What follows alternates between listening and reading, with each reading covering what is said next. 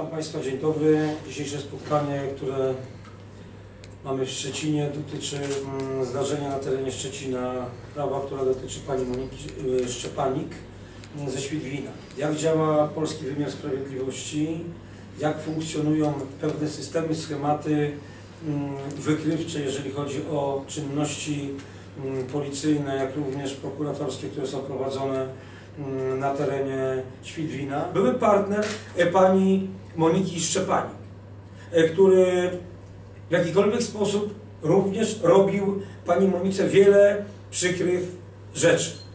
E, Wiele sytuacji, które mm, były dla niej sytuacjami dziwnymi, niezrozumiałymi, ale się zdarzały. Po rozstaniu pani Monika miała e, tak zwane problemy, e, czy to w swoim miejscu zamieszkania, czy to w miejscu prowadzonej swojej działalności mm, e, gospodarczej, e, prowadzonym sklepie, czy hurtowni e, owoców. Mm, Sytuacje, gdzie osoby notorycznie wylewały, wrzucały tak zwane e, e, e, mm, czy- e, czynniki e, bardzo silnie zapachowe, e, odstraszacze na dziki. Proszę Państwa, ten środek jest bardzo mocno szkodliwy dla zdrowia, ale jest również powodujący natychmiastowe e, zepsucie się towaru, który może znajdować się w takim pomieszczeniu. Ale może o szczegółach, od kiedy tak się zaczęło mm, dziać, jakie sytuacje Panią Monikę spotkały. Bardzo proszę, my oczywiście podjęliśmy interwencję. W tej chwili na razie jest spokojnie. Mamy również portrety pamięciowe osób, e, które, e, osoby, która jest podejrzana o rzucenie jednego z takich, e, mm, e, e, takich pojemników właśnie z tym czynnikiem zapachowym, y, która, które doprowadziły do tego, że praktycznie w sklepie 70% towaru y, musiało iść do zniszczenia. Y, Dzięki naszej interwencji po działaniach do, do chwili obecnej jest spokój. Praktycznie podjęliśmy działania latem, w lipcu tego roku. Można powiedzieć, że jedna z osób jest zatrzymana. Jest to Michał Esz, który przebywa w tej chwili na terenie ośrodka e, wychowawczego w Szczecinie, który przyznał się do zarzucanych mu czynów, który działał na zlecenie, oczywiście nie, nie przekazał informacji organom ścigania, kto był zleceniodawcą. I to jest bardzo istotne. E, Ta osoba była jako druga, która dokonywała mm, takiego wrzutu. Zostawiła kurtkę, mm, e, po- porzuciła kurtkę w trakcie ucieczki. Oczywiście e, kurtka ta jest zabezpieczona w tej chwili mm, w jednostce policji, w Komendzie Powiatowej Policji w Świdwinie. E, Oczywiście my tam działaliśmy, współdziałaliśmy również z policją, ale o szczegółach bardzo proszę Pani Moniko, proszę przedstawić Państwu. Drodzy Państwo, jestem bardzo wdzięczna Panu Krzysztofowi, ponieważ e, dzięki interwencji e, jego ekipy mój interes w dniu dzisiejszym istnieje. Ponad rok temu mój były partner mm, postanowił zniszczyć mój interes, ponieważ według jego mniemania, jeśli zniszczy mnie finansowo, przyczyni się do tego, że ugnę się i wycofam sprawę, jaką założyłam dwa lata temu, e, w sprawie znęcania się nade mną i nad e, naszym wspólnym synem. E, Ponad rok temu e, partner stwierdził, że skoro nie może się ze mną dogadać, nie może wpłynąć po dobroci na mnie, e, przymusi mnie do tego. Mm, W oczy mówił mi, że zniszczy mój interes, że zrobi mi krzywdę, jeśli nie wycofam sprawy. E, Po co te wojny, skoro można się dogadać? Ale jeśli nie chcę się dogadać, no to teraz zobaczę, ile stracę. E, Od tego czasu, od zeszłego roku, od października, ponad 20 razy miałam mm, przykre sytuacje spotkały mnie. Mm, W moim sklepie były podrzucane butelki z substancją bardzo silnie śmierdzącą, uniemożliwiającą prowadzenie działalności. Ale pierwszym takim przykrym ym, incydentem, który mnie spotkał, to było spalenie mojego auta pod domem. Osoba, która y, zleciła spalenie auta, doskonale zdawała sobie sprawę, y, w jakim systemie wybudowany jest dom, w którym mieszkałam. Wiedział, że jest to dom w dużym procencie wybudowany z drewna i podpalenie auta pod domem Mogło spowodować. mogło spowodować zajęcie się domu. Tym bardziej, że auto podpalono po godzinie 22. Y, To jest miejscowość, dom znajduje się w miejscowości bardzo, bardzo nielicznie zamieszkałej, więc y, Nikt nie powiadomił mnie, że dom się pali, mógłby, mógłby się palić. Y, Samochód y, płonął przy garażu, w garażu było drugie auto, więc naprawdę istniała, mm, istniało duże niebezpieczeństwo, że osoby znajdujące się tam, czyli ja, jeszcze jedna osoba i dziecko, mogą spłonąć. Następnego dnia zaczęły się incydenty w sklepie z podrzucaniem kwasu. No niestety ja nie ugięłam się, zgłosiłam sprawę na policję, ale policja wszystkie moje zgłoszenia y, lekceważyła. Spisywano dane i po jakimś czasie przychodziły informacje, że nie wykryto sprawcy, umorzono postępowanie i na tym się kończyło. Założyłam monitoring w sklepie i dzięki tej y, monitoringowi jeden ze sprawców został y, ujęty. W tej chwili przebywa w ośrodku w Szczecinie i do sądu został skierowany akt y, oskarżenia, będzie ukarany. Y, Ta osoba, Michał Esz, y, przyznał, że działał na zlecenie osoby trzeciej, ale nie wskazał jej.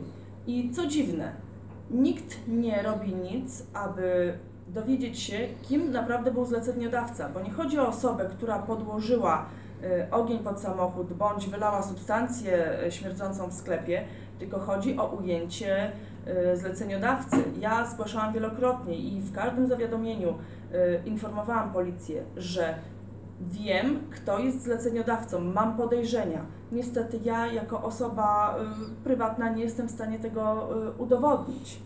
I tutaj organy policyjne bardzo słabo działały. Mam duże pretensje do policji. Od wielu miesięcy chodziłam, prosiłam na policję, aby mi pomogli. Mm, Zgłaszałam, że dostaję SMS-y, y, w których y, jest napisane mm, wydłubię Ci oczy, złamię Ci kręgosłup, za to dożywocia nie dostanę, a Ty będziesz kaleką, będziesz cierpiała. Uważaj, y, będziesz się oglądała za siebie całe życie, zabiję Cię. Te SMS-y były zgłoszone i te groźby były zgłoszone do prokuratury i drodzy Państwo, zostało to umorzone. Na mój wniosek y, prokurator w Białogardzie zebrał wszystkie dokumenty, wszystkie sprawy i y, skierował do ponownego rozpatrzenia. Jaki będzie finał, okaże się. E, Biuro nasze w dalszym ciągu zabezpiecza obiekty, które należą do pani Moniki Szczepanik. Mm, Także zamontowane są również, dzisiaj mogę to powiedzieć, po kilku miesiącach działania mm, zostały zamontowane tak zwane mikrokamery, które zapisują każdą praktycznie osobę, która wchodzi, mm, która wychodzi e, do pomieszczeń, mm, czy to sklepowych, czy do hurtowni, e, czy obserwuje również e, praktycznie 24 godziny mm, te miejsca, które dla nas są interesujące.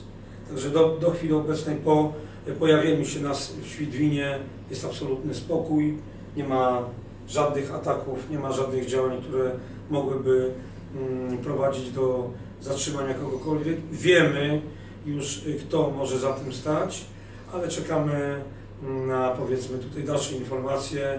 E, Przy czym, tak jak powiedziałem, my ogłaszaliśmy nagrodę. Dzisiaj oczywiście ta nagroda mm, jest przez nas podtrzymana. 5 tysięcy złotych, która była dla osoby, która wskaże e, konkretnie sprawcę, która będzie świadkiem. Zaznaczam, ponieważ my już wiemy, kto jest sprawcą mm, tych ataków.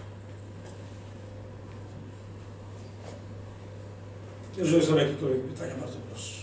Czy pani były mąż Partner, argument. e, chwalił się, szczycił się jakimiś znajomościami w kręgach wymiaru sprawiedliwości? Czy, czy, czy ma- Tak, tak, chwalił się. Tutaj muszę mm, wrócić do momentu, kiedy jeszcze razem zamieszkiwaliśmy, kiedy dopuszczał się w stosunku do mojej osoby e, przemocy fizycznej. Kiedy mówiłam, że zgłoszę sytuację na policję, kiedy poproszę o interwencję policji, śmiał mi się w oczy i powiedział, że zna wszystkich w policji, przyjadą koledzy e, z patrolu, wejdą, on im powie, że e, zacytuję, zacytuję tutaj dosłownie, e, baba wpadła w szał, bo dowiedziała się, że ją zdradzam, no i co, odnotują, pojadą i nic mi nie zrobią. Ewentualnie zabiorą na wytrzeźwiałkę, bo dopuszczał się przemocy pod wpływem alkoholu i taki był finał.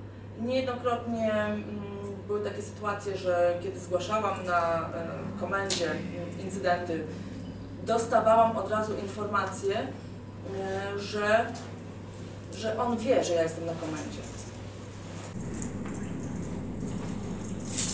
Pytanie do pani mecenas. Czy jest jakaś szansa na to, żeby tutaj a, udzielić skutecznej pomocy właśnie w takiej sytuacji też e, e, małego społeczeństwa, e, ludzi, którzy się znają, którzy, e, gdzie występują koneksje i dramat rzeczywiście osoby, która otrzymuje realne, poważne groźby i zostaje z tym sama. Panie redaktorze, na szczęście nasz system prawny jest skonstruowany tak, e, że nad każdym organem jest e, organ zwierzchni i zarówno komendant policji, jak i prokurator rejonowy e, nie są e, sami sobie panem, sterem i okrętem, używając kolokwialnego określenia. E, Uważam, że w takiej sytuacji to, co powinna robić osoba, która, e, którą dotk- dotknął taki problem, że organy wymiaru sprawiedliwości nie reagują w taki sposób, w jaki powinny reagować, a w przypadku Pani nie zareagowała, ale o tym za chwilę, powinna zgłosić taką sytuację do organu nadrzędnego, czyli na przykład prokuratury okręgowej, Komendy e, Komendy Wojewódzkiej Wydziału Spraw Wewnętrznych, czy w sytuacji, kiedy ma to miejsce na przykład w sądzie, do Wydziału Wizytacyjnego Sądu, e, sądu Nadrzędnego. E, I wtedy praktyka jest taka, że zwykle te akta postępowania, co do którego są zastrzeżenia, są żądane przez organ nadrzędny i sprawdzają, czy postępowanie toczyło się zgodnie e, z przyjętymi regułami, a jeśli się e, nie toczyło, to dlaczego. Tutaj to, o czym powiedziała Pani Monika, e, pozostawia dość e, sporo do życzenia, jeżeli chodzi o e, wypełnianie przez organy postępowania przygotowawczego pierwszego zasadniczego celu tego postępowania, bo zgodnie z e, artykułem drugim Kodeksu Postępowania Karnego, to postępowanie powinno być kształtowane w taki sposób, aby sprawca przestępstwa został wykryty. A z kolei zgodnie z artykułem 18 Kodeksu Karnego sprawcą jest także ten, kto kieruje wykonaniem przestępstwa lub poleca wykonanie przestępstwa innej osobie. Wobec czego tutaj zabrakło logicznego myślenia i powiązania spraw pani Moniki związanych z nękaniem jej przez byłego partnera z epizodycznymi zachowaniami osoby W systemie lub osób ciągłym. w systemie Tak, ciągłym, które miały miejsce na y, jej, jej imieniu. Jeżeli dany sprawca przyznający się do winy i korzystający z tak zwanego dobrodziejstwa, dobrowolnego poddania się karze, zwykle dużo łagodniejszej niż by była to kara po przeprowadzeniu postępowania sądowego, mówi działałem na zlecenie i nie mówi na czyje zlecenie, to moim zdaniem, proszę Państwa, z dobrodziejstwa tego nie może skorzystać, bo podstawą artykułu Tak. 335 jest to, aby okoliczności popełnienia czynu nie budziły wątpliwości. Więc jeżeli sam nie chce powiedzieć, to organy powinny przeprowadzić e, postępowanie w celu ustalenia osób, które mogły z nim e, współdziałać, a to w obecnych warunkach technicznych nie narzędzia, jest wierzchnim, proszę Państwa, e, trudne. które, które, do których ma dostęp prokuratura, mają dostęp organy ścigania, linki telefoniczne, lokalizacje poszczególnych miejsc poprzez telefony komórkowe. Są to, mm, są to instrumenty, które są w rękach prokuratury. I ja rozumiem, że mm, to wszystko kosztuje. Skarb Państwa musi za to zapłacić. Ponieważ lokalizacje, bilingi, to wszystko są koszty. Ale czy nienadrzędnym celem jest wykrycie sprawców, którzy dzisiaj dopuszczają się mm, rzucenie e, ataku, stworzenia ataku mm, śmierdzącego w sklepie, gdzie proszę Państwa straty powiedzmy są 20 tysięcy złotych. Jak prokuratura, jak policja podchodzi do gościa, który przychodzi do banku i kradnie z banku 20 tysięcy złotych, czy do kantoru? No kradnie fizycznie pieniądze, ale go zamyka, idzie siedzieć na wiele lat. A straty pani Moniki 20 tysięcy złotych, czy to nie jest fizyczna strata jej pieniędzy w wyniku działania przestępczej, y, działalności tych osób, które się zespalają? No Przecież jest to praktycznie znów kolejny raz nasuwa nam się problem ochrony własności prywatnej. Dlaczego tak trudno jest chronić własność prywatną w naszym kraju i po w sumie y, y, uzyskaniu niepodległości naszego państwa, po y, uzyskaniu demokracji, wtedy kiedy ta własność prywatna zaczęła mieć jakiekolwiek znacze- znaczenie. W dalszym ciągu tak trochę traktowana jest na zasadzie to, co publiczne, to ważne. Ukradniesz pieniądze publiczne, idziesz siedzieć na 10 lat. Nie zapłacisz VAT-u, czy wyłudzisz VAT, idziesz na, na, do więzienia na 12 lat. Ukradniesz prywatnej osobie, czy doprowadzisz do jej strat na milion złotych, idź do sądu, y, sądź się z nią prywatnie. Nie ma opieki prawnej ze strony konstytucyjnego zapisu w tym momencie, który jest y, jakby nie było y, do wykorzystania, ale mm, no, czy ktoś chce z tego korzystać? Jeżeli chcemy kogoś mm, y, uniewinnić, znajdziemy na to przepis. Jeżeli chcemy kogoś skazać, też na to znajdziemy przepis. Ale jeżeli komuś chcemy po, po, y, w jakiś sposób pomóc, no to w zasadzie pozostaje niestety dla tych ludzi biuro ludzkowskie. I to jest dramat, i to jest tragedia, że praktycznie od momentu naszej działalności, a biuro Rutkowski pracuje już 25 lat, proszę Państwa. Od 90 roku jesteśmy praktycznie non-stop w tematach, czy to kradzieży samochodu, czy to wyłudzeń, czy to różnego rodzaju zaboru mienia. Y, Ja pamiętam, kiedy doradca prezydenta mm, Wałęsy jeszcze, y, kiedy tworzył się y, blok, bezpartyjny blok wspierania, reform, powiedział mi, Panie Krzysztofie, my Pana zapraszamy do siebie. Dlaczego? Ponieważ Pan jest jedyną osobą, która w tym kraju broni własności prywatnej. Było dla mnie to bardzo miłe, że zostałem dostrzeżony przez osobę, która w jakikolwiek sposób zauważyła nasze działania na rzecz nie tylko towarzystw ubezpieczeniowych, nie tylko korporacji, nie tylko wypożyczalni samochodów, ale również dla osób prywatnych. I mogę powiedzieć, że odczuwam satysfakcję że nasze działania niejednokrotnie y, prowadzą do większego lęku przed nami, aniżeli przed policją. Kiedy pojawiły się radiowozy Rutkowski Patrol i wjechały do Świdwina, o tym mówił cały rejon, cały region praktycznie. I do tej pory się o tym mówi, że przyjechali ludzie, zrobili robotę od Rutkowskiego i pilnują dalej porządku. Trochę jest to wstyd dla lokalnej władzy, która powinna zabezpieczyć e, pani Monicę, bo w końcu to ona jest płatnikiem podatku i każdy logicznie myślący komendant mm, e, komendy powiatowej, każdy logicznie myślący e, burmistrz, prezydent miasta powinien dbać o takich ludzi, którzy mają przedsiębiorstwa, przyjąć tak trochę system amerykański.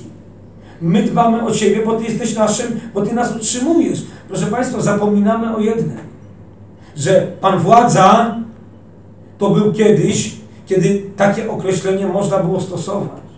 Dzisiaj Pan Władza jest na służbie u społeczeństwa, a nie na służbie u władzy. I Pan Policjant musi to zrozumieć, że dzięki Pani Monice ma radiowóz, ma napompowane prawidłowo koła, ma zimowe opony. Dzięki tym, którzy płacą podatki, utrzymują ten cały system i schemat. To nie jest tylko to, że budżet jest uchwalony i Sejm przydzielił dla policji powiedzmy parę miliardów złotych na wydatki roczne. To nie jest tak.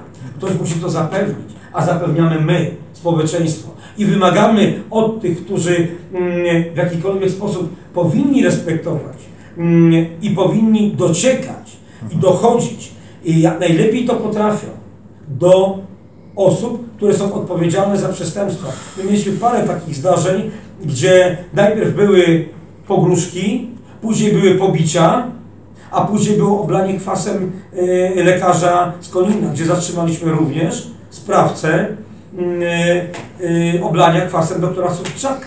Ale najpierw było ostrzeżenie. Sprawca został zatrzymany, skazany na 5 lat więzienia. Również nie wskazał zleceniodawcy. Dlaczego tego nie zrobił? Dlaczego prokurator, który ma instrumenty prawne, którym mógł się posłużyć, nie skorzystał z nich? Dobry zakład karny i zły zakład karny.